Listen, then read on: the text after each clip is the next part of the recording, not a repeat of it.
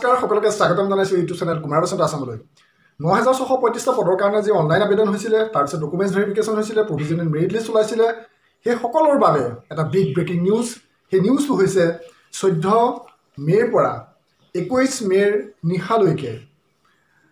পুনৰ ডিৰ যি অফিচিয়েল ৱেবছাইট সেই ৱেবছাইটত ডকুমেণ্টছ আপলোড কৰিব পাৰিব। এই সম্পৰ্কে এটা ন'টিছ আমি পাইছোঁ। আৰু আপোনালোকেও হয়তো বহুতে পাইছে। এই সম্পৰ্কে মই আজি ভিডিঅ'টোত বিতংকৈ আলোচনা কৰিব বিচাৰিছোঁ। আপোনালোকৰ সকলোৱে জানেই যে ইতিমধ্যে লোৱাৰ প্ৰাইমেৰী মেৰিট লিষ্ট পকা হ'ল সম্পূৰ্ণ একৈছখন জিলাৰ বাবে আৰু তেৰখন জিলাৰ বাবে আপাৰ প্ৰাইমেৰী লিষ্ট পকা হ'ল। আৰু কেইখনমান জিলাৰ মানে প্ৰায় আঠখন আঠখন জিলাৰ লিষ্ট ওলাবলৈ বাকী থকা অৱস্থাত ডিৰ এই অফিচিয়েল নটিফিকেশ্যনখনে বহুতৰ মনত এটা বিভ্ৰান্তিৰ সৃষ্টি কৰিছে। কিন্তু বহুতৰ কাৰণে এইটো এটা ভাল খবৰ। আৰু বহুতৰ কাৰণে এইটো এটা বেয়া খবৰ। ভাল খবৰ কেনেকৈ মই সেইটো কৈ দিছোঁ যে দুহেজাৰ ওঠৰ চনত যেতিয়া পাৰ্মানেণ্ট পষ্টৰ কাৰণে এপ্লাই কৰিছিলে সেই সময়ত যিখিনি ডকুমেণ্টছ আপলোড কৰিছিলে দুহেজাৰ বিছ চনত সেই ডকুমেণ্টছখিনি তেওঁলোকে তেওঁলোকৰ সলনি হ'ল। কি কি সলনি হ'ল? মানে দুহেজাৰ ওঠৰ চনত বি এড ডি এপ্লাই কৰিছিলে কিন্তু পৰৱৰ্তী সময়ত ডি এল এড হ'ল। আৰু বি এডত হয়তো ফিফটি পাৰ্চেণ্ট আছিলে ডি এল এডত হয়তো ছেভেণ্টি ফাইভ পাৰ্চেণ্ট আছিল। গতিকে তেওঁলোকে ডি এল এডৰ ডকুমেণ্টছ দিব নোৱাৰা হ'ল বহুতৰ ক্ষেত্ৰত। আৰু বহুতৰ এনেকুৱা হ'ল হায়াৰ ছেকেণ্ডেৰী ইম্প্ৰুভমেণ্টৰ কাৰণে নতুনকৈ যিটো ইম্প্ৰুভমেণ্ট স্কিমৰ আণ্ডাৰ যাক আমি বেটাৰমেণ্ট বুলি কওঁ সেই বেটাৰমেণ্টৰ যোগেদি মাৰ্ক বাঢ়িলে কিন্তু তেওঁলোকে অন্তৰ্ভুক্ত কৰিব নোৱাৰিলে। কাৰণ দুহেজাৰ ওঠৰ চনত যেতিয়া এপ্লাই কৰিছিলে সেই এপ্লাই কৰোঁতে সেই বেটাৰমেণ্টৰ মাৰ্ক নাছিল পৰৱৰ্তী সময়ত দিছে। মানে সেই এপ্লাই কৰাৰ পিছত আপোনালোকে জানে যে ন হেজাৰ ছশ পঁয়ত্ৰিছটা পদৰ কাৰণে যিখিনি এতিয়া প্ৰভিজনেল মেৰিট লিষ্ট ওলাই আছে সেইখিনি দুহেজাৰ ওঠৰ চনৰ এইটো এটা দীঘলীয়া ইয়াৰ লগত কাহিনী জড়িত হৈ আছে। দুহেজাৰ ওঠৰ চনত এপইণ্টমেণ্ট দিবলৈ লৈছিল তাৰপিছত একাংশই হাইকোৰ্ট কৰিলে যে টেট পাছ নহয় কিন্তু ডি এল এড পাছ কিয় এপ্লাই কৰিবলৈ নিদিব? কোৰ্টে ক'লে যে এইটো টেট পাছ লাগিব। মই সহজকৈ কৈছোঁ কথাটো। তেওঁলোকে পুনৰ কৰিলে যে টেট পাছ মানে টেট পৰীক্ষা নপতাটো চৰকাৰৰ দোষ। সেই কথাটো তেওঁলোক জিকিলে। হয় তেওঁলোকক আকৌ টেট পৰীক্ষা পাতিবলৈ চৰকাৰে এটা চৰকাৰক এটা হাইকোৰ্টে নিৰ্দেশ দিলা সেইমতে দুহেজাৰ ঊনৈছ চনত দহ নৱেম্বৰত টেট পৰীক্ষা অনুষ্ঠিত হ'ল আৰু একত্ৰিছ ডিচেম্বৰত তাৰ ফলাফল ঘোষণা কৰিলে তাৰপিছতে অনলাইন আবেদন হ'ল এটা পৰিক্ৰমা পাৰ হৈ গ'ল। এতিয়া এই ক্ষেত্ৰত এটা বিসংগতি হৈ গ'ল যে তাত এটা এডভাৰটাইজত যিটো মানে নতুন এডভাৰটাইজ আহিছিলে তাত এটা কথা আছিলে যে আগতে এপ্লাই কৰাসকলে পুনৰ এপ্লাই কৰাৰ প্ৰয়োজন নাই। মানে দুহেজাৰ ওঠৰ চনত এপ্লাই কৰাসকলে পুনৰ এপ্লাই কৰিব নালাগে। সেই নালাগে বুলি যে ক'লে সেইখিনিতে গণ্ডগোলটো হ'ল। গণ্ডগোলটো কেনেকৈ হ'ল মই বুজাই দিছোঁ। কাৰণ দুহেজাৰ ওঠৰ চনত কাৰোবাৰ বি এড আছিলে ডি এল এড নাছিল। পিছত ডি এল এডৰ মাৰ্ক বাঢ়িলে গতিকে তেওঁলোকে বঢ়াব নোৱাৰা হ'ল। সেই সময়ত হায়াৰ ছেকেণ্ডেৰী কাৰোবাৰ হয়তো ছিক্সটি পাৰ্চেণ্ট পিছত বেটাৰমেণ্ট দি তেওঁ ছেভেণ্টি পাৰ্চেণ্ট হ'ল গতিকে বঢ়াব নোৱাৰা হ'ল। গতিকে এইসকল মানে মেৰিট লিষ্টৰ পৰা বহুতেই বঞ্চিত হ'ল। তেওঁলোকে নতুন মাৰ্ক বঢ়াব নোৱাৰিলে। বুজি পাইছে নিশ্চয়? এতিয়া শেহতীয়াকৈ চৈধ্য মে'ৰ পৰা একৈছ মে'লৈ ডিৰ অফিচিয়েল ৱেবছাইট পুনৰ খুলি দিয়াৰ ঘোষণা কৰিছে। গতিকে চৈধ্য মে'ৰ পৰা আপোনালোকে বেটাৰমেণ্টৰ মাৰ্কবিলাক দিব পাৰিব। অকল ডি এল এড বা বি এডৰ কথাই কোৱা নাই। যিখিনি হায়াৰ ছেকেণ্ডেৰী হওক ডিগ্ৰী হওক যি য'ত আছিলে গোটেই বেটাৰমেণ্টৰ মাৰ্কখিনি দিব পাৰিব। আৰু এইখিনিতে আমাৰ গভমেণ্টৰ যিবোৰ নটিচ ওলাইছিলে এইবিলাকতো ভুল আছে। কাৰণ এই গোটেই প্ৰক্ৰিয়াটো কিছুমান কথা অলপ লাহে লাহে আহি আছে। আপোনালোকে গম পায় যে ডি এল এড বা বি এড নোহোৱাকৈও এপ্লাই কৰাৰ সুযোগ আহিছিলে। পিছত গৈ ডি এল এড বা বি এডত এডমিশ্যনৰ ৰিচিপ্ট আপলোড কৰিবলৈ দিলে তেনেকৈ বহুতো বঞ্চিত হ'ল বহুতৰ টকা পইচা এনেই অপচয় হ'ল। এইখিনি গোটেই ছিষ্টেমতে গণ্ডগোল হৈয়ে আছে। শেষত গৈ পেলাই আকৌ ইমানখিনি এটা প্ৰক্ৰিয়া হৈ যোৱাৰ পাছত এতিয়া নতুনকৈ বেটাৰমেণ্টৰ মাৰ্ক দিবলগীয়া হোৱা কথাটোত কিন্তু বহুতো প্ৰশ্ন সোমাই আছে। আপোনাৰ মনত হয়তো এই মুহূৰ্তত এই খবৰটো পোৱাৰ পিছত সেই প্ৰশ্ন সোমাইছে। মনত উদয় হৈছে মানে প্ৰশ্নখিনি ইটোৰ পিছত সিটো হৈছে মই বুজি পাইছোঁ। আপোনালোকে কমেণ্ট ছেকশ্যনত জনাব।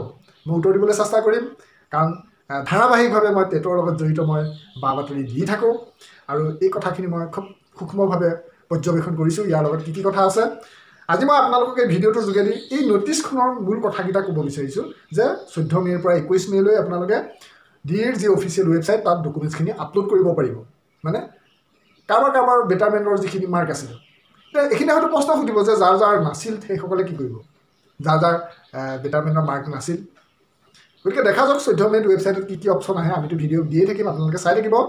আচলতে বেটাৰমেণ্টৰ মাৰ্ক যাৰ বৃদ্ধি হ'ল সেইসকলৰ কাৰণে এইখিনি কথা কৈছে। যাৰ মাৰ্ক একো বৃদ্ধি হোৱা নাই একো পৰিৱৰ্তন হোৱা নাই সেইসকলৰতো নিয়মমতে প্ৰয়োজন নাই।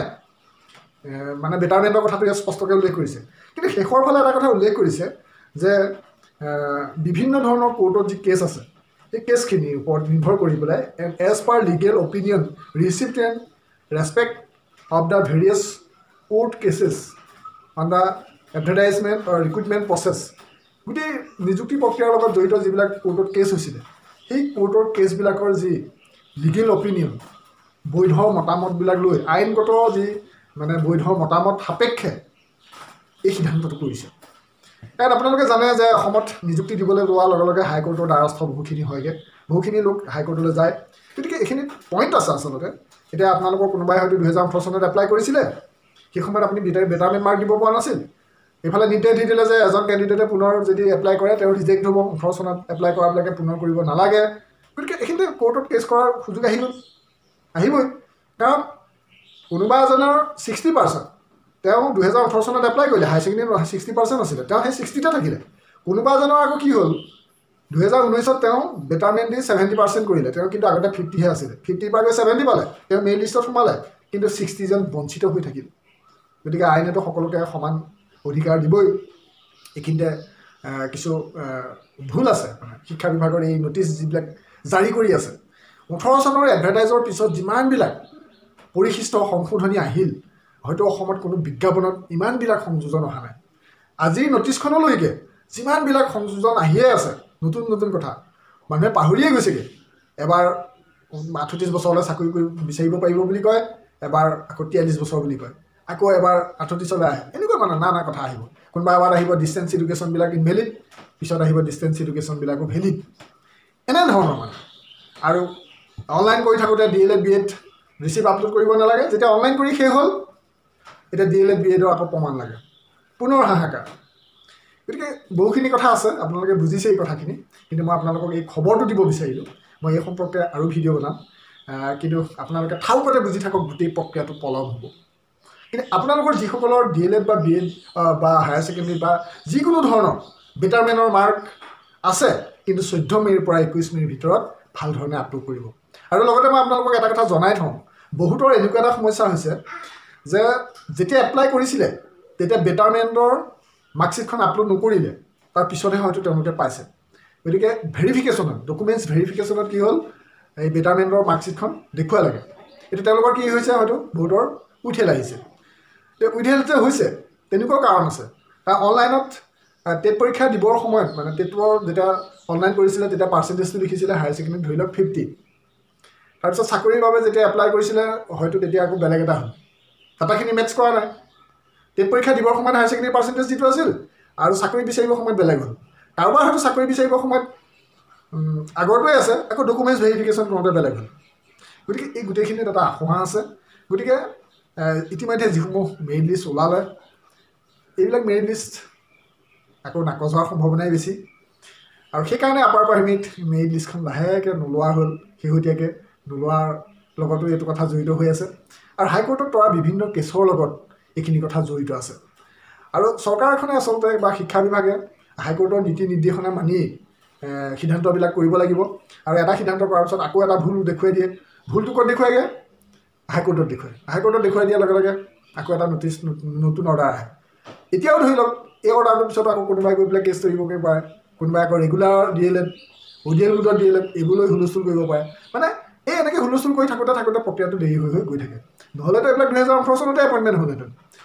যিয়ে নহওক আপোনালোকক মই এই ভিডিঅ'টোৰ যোগেদি গোটেই কথাখিনিৰ ওপৰত মই এটা ধাৰণা দিলোঁ। মই গোটেই নটিচখন বাৰে বাৰে চাইছোঁ আৰু বিষয়টোৰ ওপৰত মই নিজে অধ্যয়ন কৰিছোঁ কি হ'ব কি কথা। এতিয়া আপোনালোকৰ কাৰোবাৰ হয়তো এনেকুৱা হ'ব যে আগতে বি এড এপ্লাই কৰিছিলে কিন্তু ডি এল এড দিবলৈ সুযোগ নাপালে। বি এডত হয়তো আপোনাৰ ছিক্সটি পাৰ্চেণ্ট ডি এল এডত ছেভেণ্টি পাৰ্চেণ্ট গতিকে এতিয়াতো আপুনি হয়তো চিন্তা কৰিব যে মই কি কৰিম? সেইটো ৰিক্সটো আপোনাৰ কিন্তু যদিহে আপোনাৰ প্ৰভিজনেল মেইন লিষ্টত নাম অহা নাছিল নাম নহাত আপুনি কি কৰিব? আপুনি এতিয়া নতুনকৈ এপ্লাই কৰি দিয়ক ডি এল এড মাৰ্কটো দি এপ্লাই কৰি দিয়ক। নতুনকৈ এপ্লাই কৰাৰ সুযোগটো পাৰিলে গ্ৰহণ কৰক যিবিলাকে আগতে মেইন লিষ্টত নাম উঠা নাছিল। মই সেইটো এটা মই পৰামৰ্শ দিলোঁ। যাৰ মেইন লিষ্টৰ নাম নাছিল নাম সোমাবলৈ চেষ্টা কৰক। কেনেকৈ চেষ্টা কৰিব? যদি আগতে বি এডৰ পাৰ্চেণ্টেজ কম আছিলে যদি আপুনি ইচ্ছা কৰে ডি এল এডৰ পাৰ্চেণ্টেজ দি কৰক। কাৰণ আপোনাৰতো নাম নায়েই। এতিয়াতো আকৌ ক'ত আহিব? গতিকে নিজ বিচাৰটো নিজে কৰিব। কিন্তু মই কিছু মানে পৰামৰ্শ দিছোঁ। আৰু হায়াৰ ছেকেণ্ডেৰী যদি বেটাৰমেণ্ট আপোনাৰ মাৰ্কশ্বিট আছে আপলোড কৰিবলৈ কিন্তু নেপাহৰিব। আৰু আগতে যদি এপ্লাই কৰাত কিবা আপোনাৰ বিসংগতি আছিলে এতিয়াও আপুনি ভালকৈ কৰি দিয়ক। কাৰণ এইটো কৰিবলৈ সুযোগ দিছে। ইয়াত কিন্তু এইটো কথা উল্লেখ কৰা নাই যে পুনৰ আগতে এপ্লাই কৰাজনে পুনৰ এপ্লাই নকৰিব সেইটো নাই। কিন্তু ইয়াত এই কথাটোৰ পৰা বুজাই গৈছে যে higher secondary degree D L Ed B Ed এই গোটেইবিলাকত যদি আপোনাৰ কিবা বেটাৰমেণ্ট হৈছে গোটেইবিলাক আপলোড কৰিব পাৰিব। তাৰমানে আগতে আপুনি ডিগ্ৰী পঢ়িছিলে কম পাৰ্চেণ্টেজত আপুনি হয়তো ডিষ্টেঞ্চ মুডতো ডিগ্ৰী পাছ কৰি থ'ব পাৰে। দিব পাৰে ডিষ্টেঞ্চ মুডটো এতিয়া গ্ৰহণযোগ্য। গতিকে কোনোবাই হয়তো ভাবিছে যে বি এডত আকৌ বেটাৰমেণ্ট থাকে নেকি? কথাটো অলপ এনেকুৱা গোটেইখিনি লিখি দিছে। কোনোবাই বি এড কৰিছিলে এতিয়া হয়তো তেওঁ ডি এল এডো কৰিলে। মই ক'লোৱেই কথাটো গতিকে ডি এল এডৰ মাৰ্কখিনি দিব পাৰিব ডি এল এডৰ ডকুমেণ্টছ দিব পাৰিব। গতিকে আপোনালোকে নিশ্চয় নটিছখন পাইছে এইখিনিৰ ওপৰত মই এইখিনি কথা ক'লোঁ। আৰু কিবা যদি আপোনাৰ প্ৰব্লেম আছে আপোনাৰো কিবা যদি মনত কথা আছে কমেণ্ট ছেকশ্যনত নিশ্চয় জনাব। মই সোনকালে এই কমেণ্টখিনিৰ ওপৰতো ভিডিঅ' দিম। আৰু আপোনালোকে কি কি বিষয়টো লৈ পেলাই চিন্তাত পৰিছে নিশ্চয় কমেণ্টত জনাব। ভিডিঅ'টো ভাল পালে লাইক কৰিব আৰু শ্বেয়াৰ কৰক যাতে সকলোৱে কথাটো গম পায়। কাৰণ বহুতে গম নোপোৱাকৈ থাকি যাব পাৰে। আৰু যদি চেনেলটো ছাবস্ক্ৰাইব কৰা নাই আপোনাৰ সহায়ৰ বাবে কুমাৰ বসন্ত আছাম ইউটিউব চেনেলটো ছাবস্ক্ৰাইব কৰি থওক পৰৱৰ্তী ভিডিঅ'ত পুনৰ লগ পাম। থেংক ইউ ফৰ ৱাচিং জয় আই অসম